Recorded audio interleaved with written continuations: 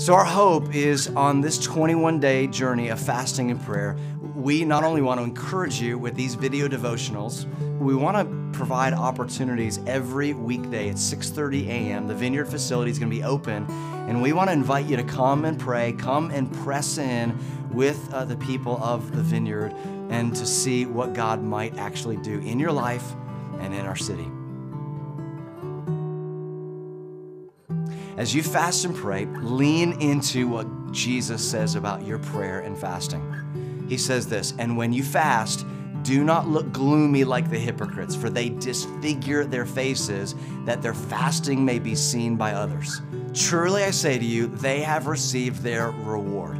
That's Matthew 6 16. Now he's telling us a couple things very clearly. First, he's saying, when you fast, meaning there is an expectation that as a follower of Jesus, fasting is a regular part of your life. So if this happens to be your first time to really fast and pray, welcome to something that is considered normal as part of the Christian life. Now, secondly, you're not fasting for others.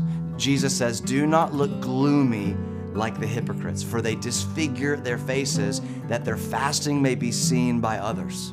Now, you know what that means? Don't tell people you're fasting. Don't slyly mention that you're not eating lunch because, you know, you're fasting. Oops. Clearly, you're fasting, much like your prayer is to be done in secret. Now, also, when you fast, he says there's a reward. Now, not a lot of clarity what the reward may be. It may be a deeper humility for you.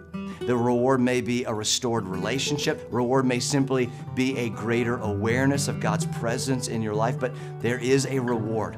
However, if you fast and reveal to other people to gain their praise, Jesus says that is your reward. So today, fast and pray in secret, knowing that God will reward you.